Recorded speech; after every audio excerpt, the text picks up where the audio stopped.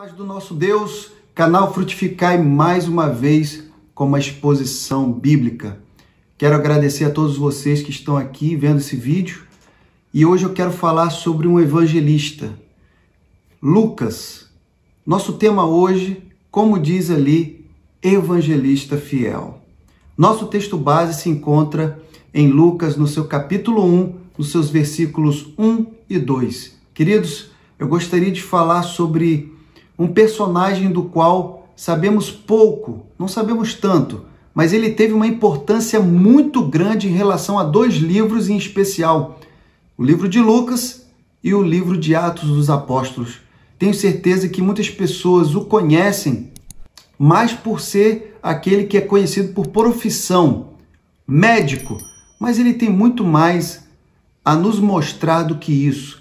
E hoje eu quero convidar você para conhecer mais sobre esse evangelista tão especial. Se você gosta da palavra de Deus, ama as escrituras, esse é o canal certo. E se você ainda não se inscreveu, te convido para se inscrever, compartilhe também nas redes sociais. Então vamos para a palavra do Senhor que diz: Tendo, pois, muitos empreendido, por em ordem a narração dos fatos que entre nós se cumpriram segundo nos transmitiram os mesmos que os presenciaram desde o princípio e foram ministrados da palavra. Esse é o canal Frutificai, começando agora.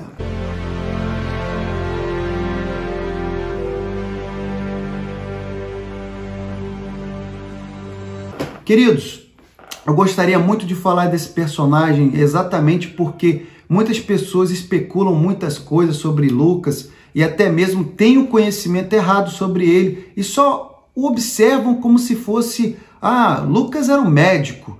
Sim, mas qual é a relevância de Lucas na história bíblica? O que ele de fato fez? Então vamos para falar um pouco mais sobre ele. Primeiro eu queria falar quem foi esse evangelista chamado Lucas. Apesar de nós sabermos que ele escreveu dois livros, nós não temos muita informação sobre a vida realmente de Lucas. Tanto que a sua origem, ela não é totalmente dita, ah, ele é realmente da cidade tal. Uns entendem que ele era grego e outros entendem que ele era sírio de Antioquia. Então, queridos, nós também entendemos que ele tinha uma linhagem nobre, porque ele tinha uma escrita muito culta ele tanto entendia o grego como ele tem, também entendia o hebraico. Então ele era uma pessoa que tinha se dedicado aos estudos, principalmente estudos das ciências, e tem pessoas que também dizem que ele tinha estudado artes.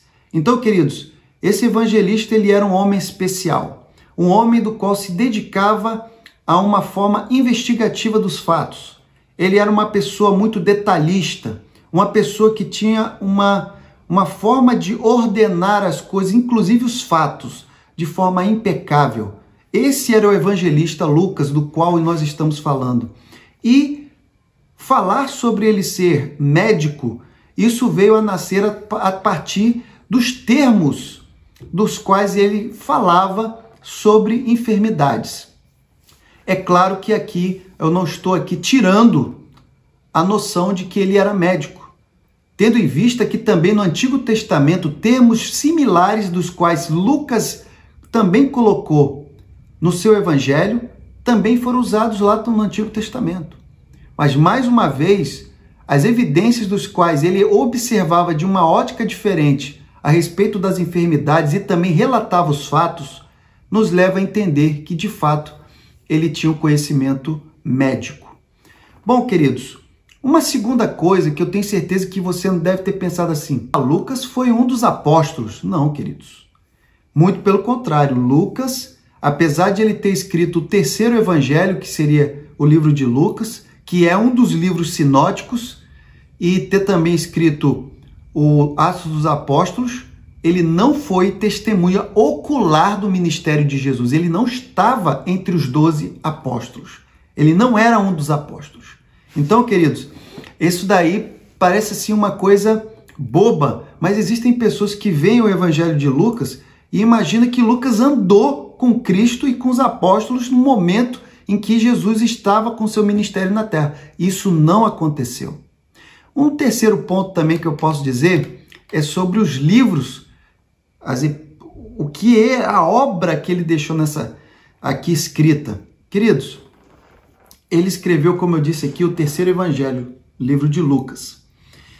E nós podemos ver aqui que, já que ele não andou com os apóstolos e até mesmo ele não estava presente no ministério de Cristo, como ele pôde escrever então o terceiro evangelho, um livro sinótico, um um, praticamente as mesmas narrações ou similares de Marcos e de Mateus? Como isso aconteceu? Bom, queridos, como você vê, nós lemos ali que ele disse que essas informações foram transmitidas a ele por pessoas que presenciaram desde o princípio e foram ministrados pela palavra. Então foram pessoas das quais tinham vivenciado os momentos, tudo que tinha acontecido no ministério de Cristo. Então essas pessoas falaram para ele e ele ordenou a narração dos fatos, de forma que ele pôde então concluir o livro de Lucas. Mas também há de se dizer que quando ele estava começando essa obra de fazer o livro de Lucas, já existiam muitos relatos sobre o ministério de Jesus e tudo o que tinha acontecido. Mas também podemos dizer que Lucas ele verificou os livros de Marcos e Mateus para fazer a obra de Lucas. Então, queridos, uma outra coisa que eu queria falar é que o livro de Atos dos Apóstolos ele foi, ele teve esse nome muito depois. Não foi logo assim que ele fez Atos dos, dos Apóstolos que teve esse nome. E o mais curioso é que o nome do livro não faz jus àquilo que está dentro dele. Não estou aqui tirando o mérito de nada, mas vejam bem que aqui está dizendo Atos dos Apóstolos. Isso significa dizer que nós deveríamos ter ali o relato de tudo que os apóstolos faziam. Mas, no entanto, não tem ali a maioria dos apóstolos. Tem apóstolos ali como Pedro, tem Tiago, mas principalmente a vida de Paulo e as suas viagens. Queridos, isso aqui eu vou dizer muito melhor no final. Então fique comigo e não pule o vídeo. E aqui mais um tópico importante a ser dito, queridos, que nós já dissemos que ele não era judeu. Ou ele era grego, ou ele era sírio de Antioquia. Então isso significa dizer que ele era um gentil. Ele não tinha linhagem de um judeu. Mas ele escreveu um livro, um evangelho. Então, algo marcante é que ele é o único gentil que escreveu um evangelho. Passado disso, nós podemos falar também da conversão de Lucas. E também, como eu posso dizer, não há relatos claros a respeito disso, mas nós temos estudos que apontam que isso deve ter acontecido aproximadamente no ano 42 depois de Cristo, quando tinha o reinado do imperador Cláudio. E segundo esses estudos, ele ouvira as pregações e palavras eloquentes de Paulo e ali foi convencido para o reino de Cristo. Ele começou a apoiar o ministério de Paulo, ele começou a andar com Paulo, evangelizar com Paulo, mas chega um momento em que Paulo, então, é, é um mártir e é morto. Então, Lucas, segundo relatos, volta para a Grécia e continua evangelizando e vem a falecer quando tinha aproximadamente 84 anos de idade. Há relatos também que não são muito apoiados de que ele ter martirizado, teria sido morto pelo evangelho. Bom, queridos, agora falar um ponto também não menos importante que os demais. Qual teria sido o livro de Lucas e Atos teria tido um propósito? Será que ele os escreveu para alguma finalidade? Bom, queridos, se nós olharmos o que está escrito em Lucas no seu capítulo 1, versos 3 e 4, parece-nos que ele, ele está escrevendo para uma pessoa específica que se chama Teófilo. E veja bem como ele fala: Pareceu-me também a mim conveniente descrevê-los a ti, ó excelentíssimo Teófilo, por sua ordem, havendo-me já informado minuciosamente de tudo desde o princípio. Isso daí é a palavra em Lucas. Queridos, olha só agora o que dizem Atos dos Apóstolos, no seu capítulo 1, verso 1. Fiz o meu primeiro tratado, ó Teófilo, acerca de tudo que Jesus começou, não só a fazer, mas a ensinar. E, como eu disse aqui, ele faz menção a, uma, a um personagem que a gente fica se perguntando quem seria esse Teófilo no qual ele estaria fazendo essa citação tanto em Lucas como em Atos.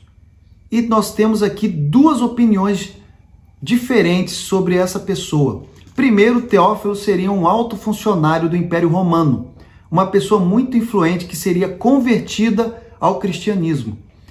Lucas estaria dando então a narrativa dos fatos porque ele tinha uma ideia de organizar tudo, de fazer os fatos de forma ordenada e Teófilo provavelmente seria um patrocinador para que pudesse ser fazer essa obra ser impressa, ser divulgada.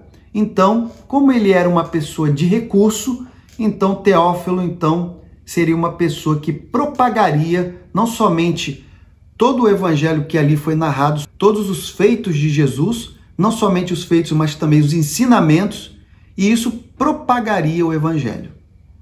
Bom, uma segunda corrente diz que Teófilo seria um jurista ou até mesmo um magistrado, porque pelo tratamento que ele dá quando ele fala excelentíssimo Teófilo. Ele usa esse pronome de tratamento exatamente para caracterizar de que Teófilo era uma pessoa que estava ali como um juiz. E esse, se for pela segunda corrente, há um entendimento de que Lucas estaria fazendo o livro do Evangelho de Lucas falando sobre a vida e ministério de Jesus como uma defesa, para depois falar sobre os atos de Paulo, lá em Atos dos Apóstolos. Tanto que é, como eu já disse anteriormente, é o que ele mais fala. Ele fala mais sobre as passagens que aconteceram com Paulo, tudo que ocorreu, e até mesmo coisas que aconteceram quando ele estava presente, porque ele estava sempre com o apóstolo Paulo. Então, nós vemos aí que ele tentava uma defesa eram duas peças de defesa no qual uma falava do, do ministério de Jesus e seus ensinamentos e aqui falava de Paulo também em sua vida e os ensinamentos que ele fazia em relação a Cristo Jesus. Isso com a tentativa de inocentá-lo. Isso é uma hipótese, como eu digo aqui. Então, queridos, esse daqui nos traz aqui uma dimensão muito maior do que nós temos o entendimento de somente caracterizar Lucas como aquela pessoa que tinha, ah, ele era um médico por profissão, mas ele não estava com Jesus e nem com os apóstolos, apesar de muitos pensarem isso. Então eu achei importante trazer esse conhecimento para você, trazer essa parte que edifica tantas vidas, conhecer os personagens, conhecer a Bíblia mais profundamente. Então, se você gostou, não se esqueça mais uma vez, compartilhe, também se inscreva no canal e eu te espero em uma nova exposição em nome de Jesus.